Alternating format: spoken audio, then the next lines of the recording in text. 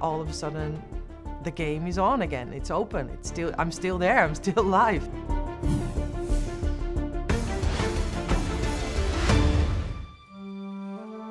In 2008, I was number one in the world for a couple of years, and so it was a complete different expectation that I had from myself. So I knew I uh, had the capabilities and, and, and the tennis game to, to beat everybody on that tour.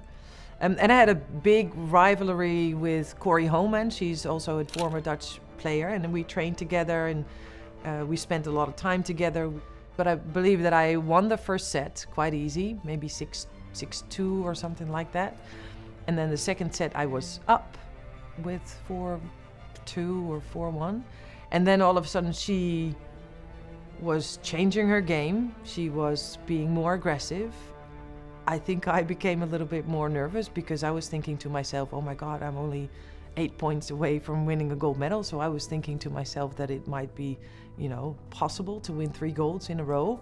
Maybe I started to lose a little bit of my focus. I don't know what exactly happened, but Korie came back and, and she fought back and she won the second set. And all of a sudden it became a final uh, gold medal match of uh, in in three sets. Um, she was playing well. I wasn't playing that well, I guess, and she was uh, having match point at one time. She was serving.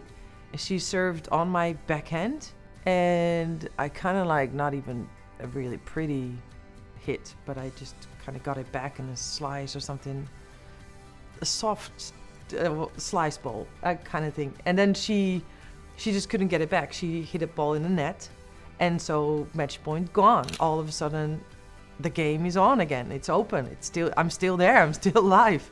We fought back. I started to believe in myself again, and we made it to a, um, uh, a tiebreaker. Korie maybe got more nervous than I was, and after two match points, I think I, I finished it and won the gold medal.